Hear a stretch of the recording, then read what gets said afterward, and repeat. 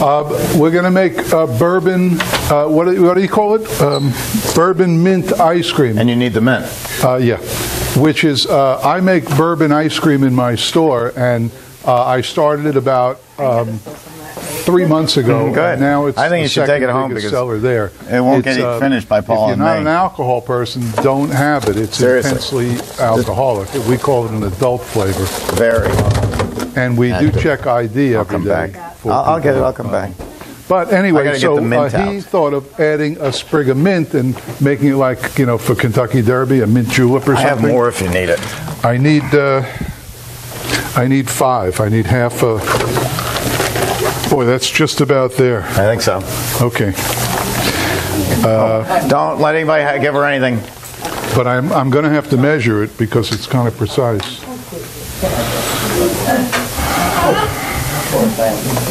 No, she's not a poor thing. She's the most spoiled dog on earth. Come on, sweetie. Come on, sweetie. So we're going to start off with five quarts of ice cream mix, and that'll be just about right. Look at that. Is that it or I have more for you if you want. close? You want a little more? Uh, Yeah. Okay, coming up. Oh, could you take that Yeah, in? ten percent. Yes.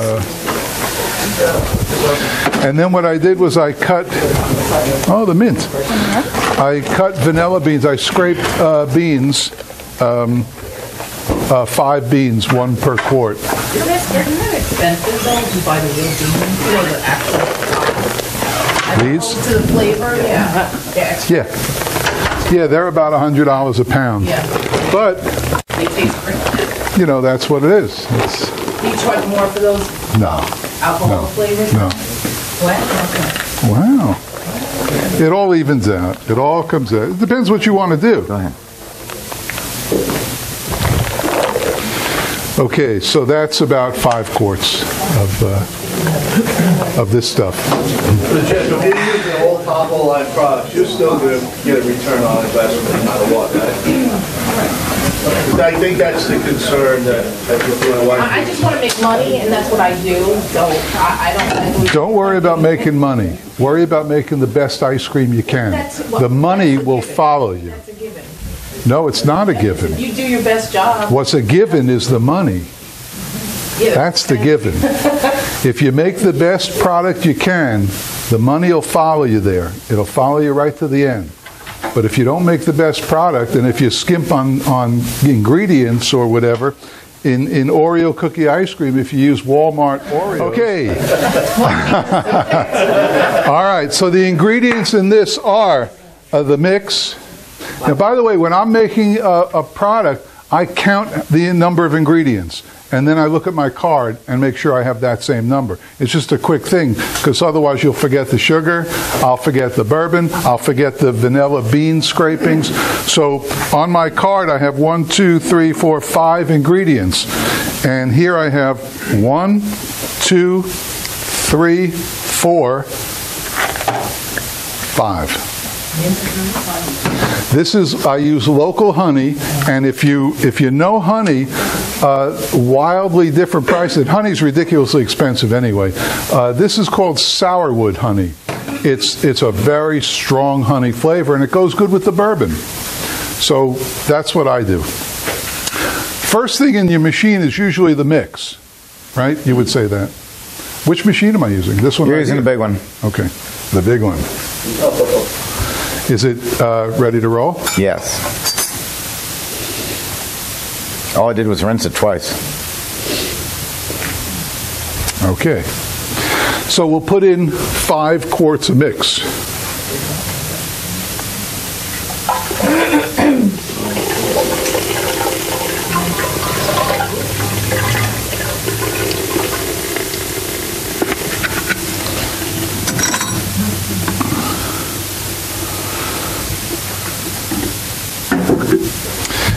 Then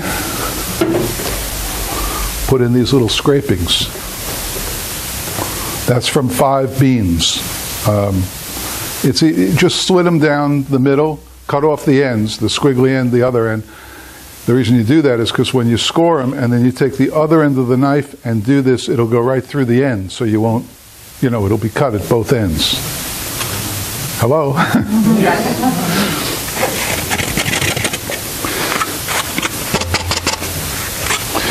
Okay, and the, and this also gives you those little dots in there, you know, the, like Breyers used to have.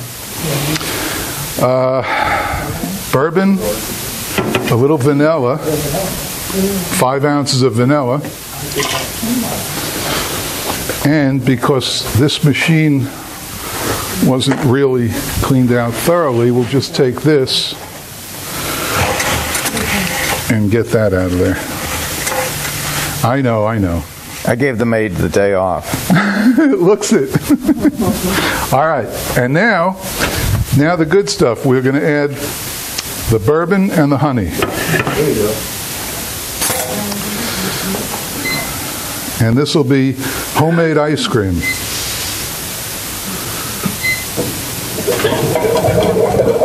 Which will run at 234.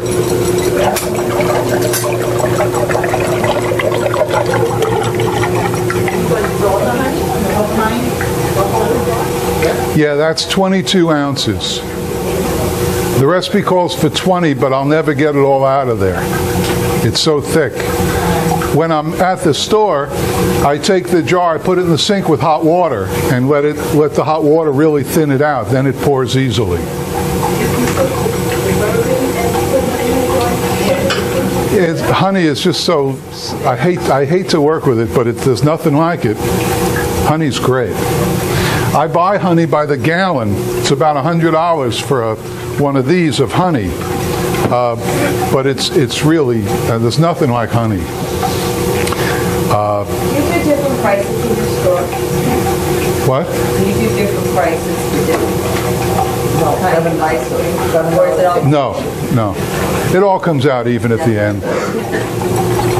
And Steve, you, I mean, uh, Jeff, you said that you don't need a license to serve that, or? I don't, yeah, you do. Oh, you do? Oh, sure. Check check with your individual state.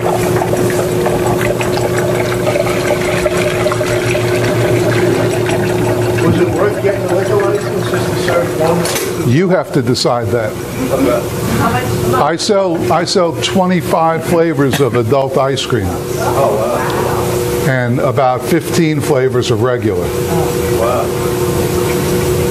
Did you always need a liquor license? What? Did you always need a liquor license? Well, if you need it now, you always needed it.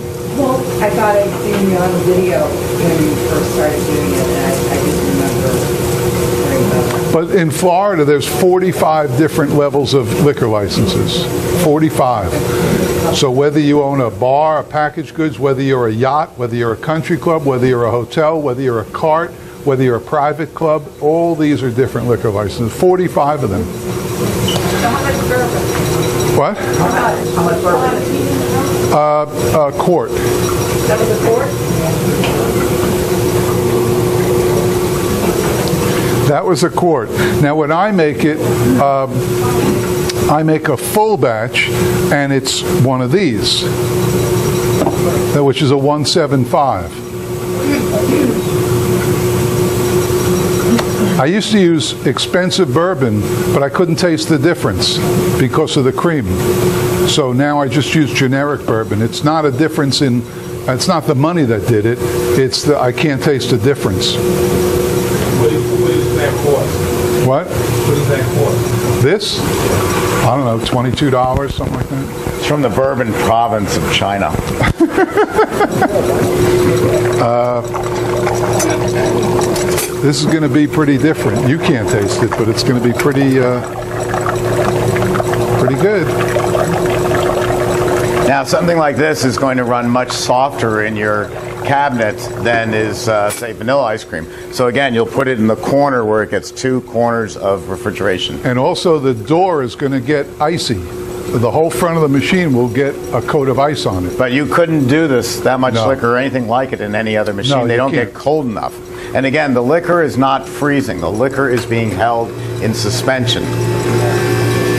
Question. Um, I wanted to ask you, uh, what about wine? I do, uh, actually, a funny story. When I was sitting back there three and a half years ago, the the gentleman over here made you can say it, Steve. Steve made uh, Merlot, Merlot ices. And I sat there and then I came up just like you all didn't taste it, and I thought it was vile. And that's what caused me to go into the business because I said, I mean, you know, he's like a guru. And, and he made this awful tasting stuff, and I said, well, I could do better than that.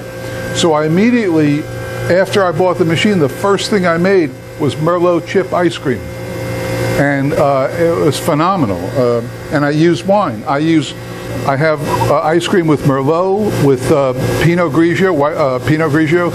Uh, my champagne ice cream is outstanding. Uh, other wines, oh, sangria. What about the different, like you said with the burger, can you taste the difference? Wine, you can taste the difference. Yeah, yeah. I, I don't tend to use cheap wines, but I don't use obviously $30 bottles of wine. Does it change all the time, or do you use the same brand? It changes. I shop around. In liquor, where the only one that I found that really makes a difference is Grand Marnier liqueur ice cream. When I make at Christmas, uh, the orange liqueur Grand Marnier, forty-five dollars a bottle, and I take six California lemons, lemons because they are oranges because they have a thicker skin. Grate them off. A chef calls that the zest. I have this. The finished product is pure white with the aroma and the taste of the Grand Marnier orange liqueur and the little specks specks of orange in there just for uh, looks. It's it's absolutely fantastic. Great Christmas present. You could never afford to sell it. You know, Well, I'll give you a little secret about that. Um, Grand Marnier is triple sec, Yeah, and triple sec in my mind doesn't work. and triple sec is what I make my Grand Marnier ice cream out of, and it's my second largest seller. I make Grand Marnier chocolate chip ice cream, and it's my second largest selling ice cream. Where you can cheat on the liquor is uh, Kahlua. If you're making coffee and cream, uh, use a, use an inexpensive uh, coffee liqueur because the coffee itself is going to be the overpowering flavor. But again, it's like chocolate; it's all personal taste. Can you beer ice cream? Yeah. No, don't believe No, that's- No beer, no bacon. No beer, no bacon. No those beer, are, no those are bacon. fads. I mean, nobody really Yeah. wants them twice. Now, They'll one of it the once. first classes I ran, the fellow opened up in Tampa, and he was adamant about opening up with beer, port, lager, and uh, florals. You know, uh, jasmine, and and and I said, you know, maybe you ought to have a few flavors that people actually like, and then grow into these. And he wouldn't hear of it. I mean, he was insistent upon beer and, and stout and, and those flavors. And, you know, the end is obvious. Uh, you, you got to, there's the art and the science here, and the art is what you want to do. You know, you want to have fun making ice cream. That's why I have 35 to 40 flavors. I love coming up with flavors. But you can't keep doing it. And you can now, just an example, I love Sambuca. And one of the flavors I came up with I called Slambuca. And I mean, it was wild, but nobody liked it. I liked it, but nobody liked it. So I don't sell it. So you have to serve two masters. You have to serve the people paying you, and you have to be true to yourself in, in having fun and coming up with flavors. And the bottom line is at the cash register. If people aren't buying that flavor, no matter how much you love it, remember when I made avocado ice cream? Yeah, how about when you Paula made loved the avocado ice cream. I thought it was horrible. Jeff, Jeff, I thought was going to throw up, but because avocados just weren't meant to be put in ice cream. It's like making salsa ice cream. Hey, it depends You- you had a on Part of question? the country you live in. That's very true. I make. It, it, it really depends, like you said, on the part of the country. Uh, I'll And you give you an have to think about Jeff, 100 customers. How many are going to buy that? Jeff put specks into his ice cream. Never in a hundred million years will you ever find specks in ice cream made in New York City.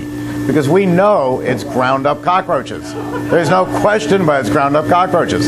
So they won't do it. Then you get down to Philadelphia, and if the vanilla ice cream isn't yellow, they won't buy it. It's got to have the egg shade in it, or a real egg yolk. Otherwise, they won't buy it. Different parts of the country have different oddities. Um, out in um, uh, the Pacific Northwest, one of their favorite flavors is sweet cream ice cream. Does anybody know what sweet cream ice cream is? That's ice cream that it was 11 o'clock at night and you're tired as a dog and you're making the vanilla ice cream and you forget to put the vanilla extract in. And rather than you know throw it away, you put on get your chalkboard and put out special today sweet cream ice cream. It's just the dairy mix frozen with no flavor in it right away at all. And in some parts of the country, it's the biggest selling product. So who knew? yes. Uh, for that, do you make any tequila or uh? What was the question? Do you make any tequila ice cream? Oh, sure. I make uh, uh, margarita. I make margarita ice cream, also a very top seller in the store. And I make that with tequila. And I make pina colada with rum. Uh, yeah.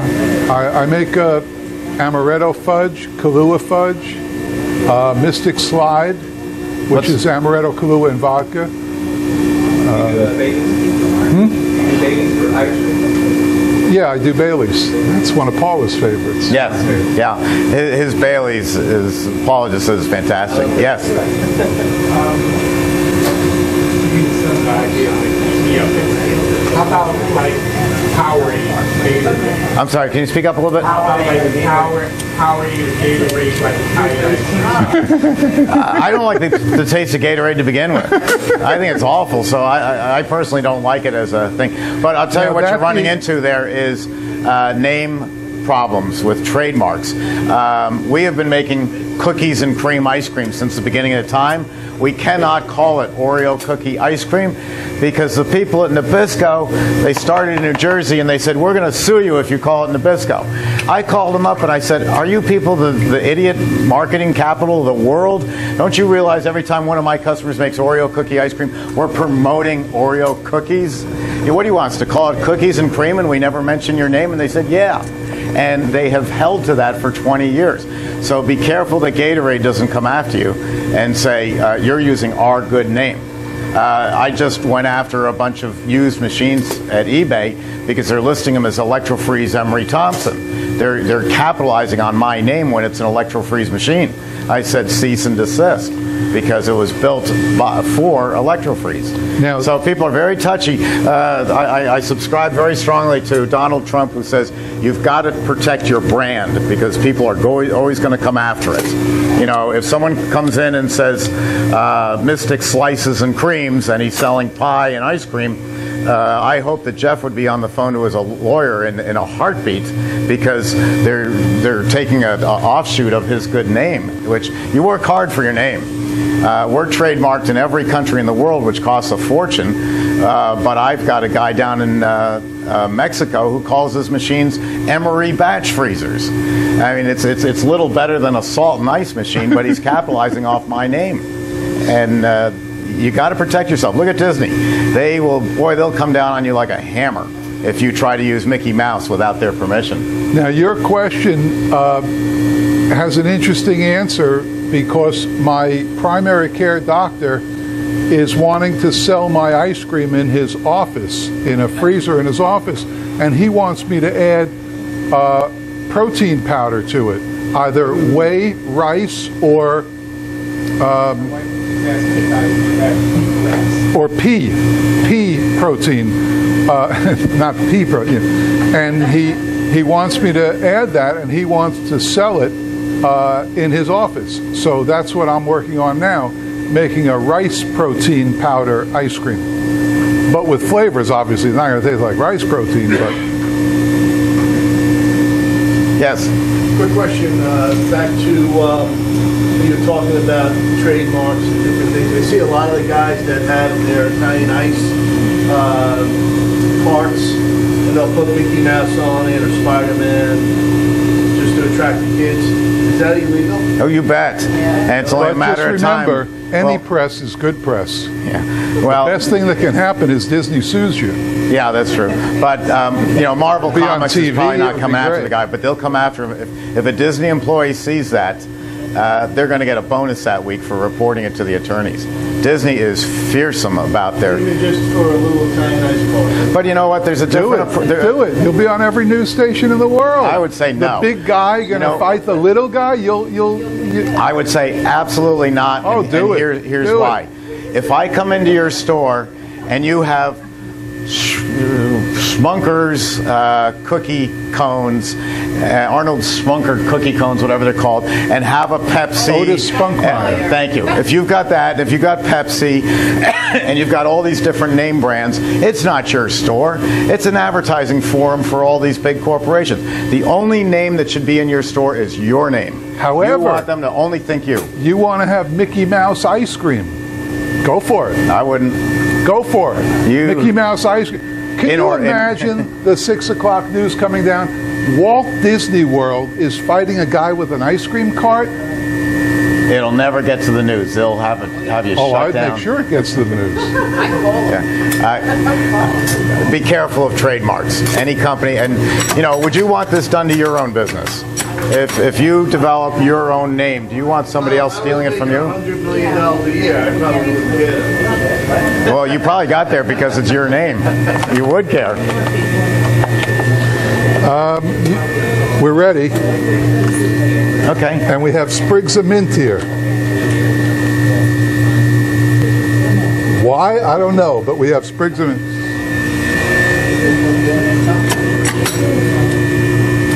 Ooh. You can't taste this, huh? No.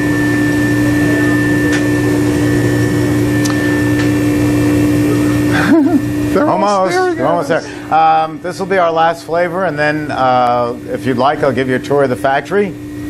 And I got to tell you, Jeff and I were talking about all of you uh, during lunch. True, true. We ha- this is absolutely the truth. We were talking about you. We haven't had a class this lively in six months. You're the best class that we can remember. Never had better questions. Uh, I never had better arguments with Jeff. It's so easy to argue with him. And It's true. you really are. Yeah, I mean, every one of you is going to be a great entrepreneur, and we're not. We don't say this. Well, you go back and look at the Not- tapes. Not that one couple. Not that one couple. No, not them. You go back and look at our tapes, and you'll never see me compliment an audience, uh, though we like them. But you guys, I mean, you're all excited. You're the last you're all one doing was great. hell. Yes. Yes. Hell, the last question. Why is the grout between your floors black? How come it's not cream to match the floor? That's the kind of questions we got. yes. You going to blow this on it now? When you gonna put the mint in? That's what I was wondering. Put some what? Are you going to put mint in it? Mint in it? Yeah. No. That's what I thought too. By the way, you see how it's freezing here? Yes. I have a question. Um, with all the stuff that was going on about wheatgrass, how good it was supposed to be and everything, is that all in any of the products? Wheatgrass? Uh, I haven't. No, my wife eats wheatgrass, but uh, uh, it, I don't know. Uh, I guess you could, but it doesn't seem to me to be something that go into ice cream. I'm not trying to. Remember who's paying you. Yeah, the the, the Very customers. important. Now, I do make some concessions. I'm a diabetic. I'm type 1. I'm insulin dependent. So let me just show you something. When I make Italian ice that I'm going to eat, I use agave, uh, which is what they make tequila out of. So it's, it's got to be good. But uh, there's this thing called the glycemic scale. Uh, 100 is the worst, 0 is the best. Uh, sugar's at about 92, and this stuff is down around 27. But it's not sweet. I have, oh yeah, if you use it right. But I have no business being in your ice cream parlor. There's no way I should be there. So when someone comes in and says sugar free, you really have to think long and hard and then throw them out. And just say, you really, you know, if you're diabetic type 1, you have no business being in here. They know it, but they're just, you know, testing their own limits. Uh, this, this helps me, but I still should not be eating any ice cream at all. Yes? Stevia doesn't have enough of what we, or neither does NutraSweet. Uh, it, do- yes, but it doesn't have enough solids in it to allow us to substitute it out uh, for sugar. It's sweet, but it doesn't have the solids. You know, like I said, heavy cream and skim milk, uh, it's not there. This this works. Um, molasses works. Honey is great. Uh, so is maple syrup. Oh, I love maple syrup. Gee, it just got quiet. What do you need? Another container. Oh, I can do that. Just use one of these. Okay.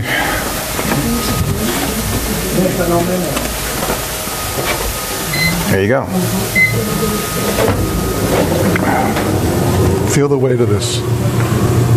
Oh, that's heavy. amazing, isn't it? Yeah, very heavy.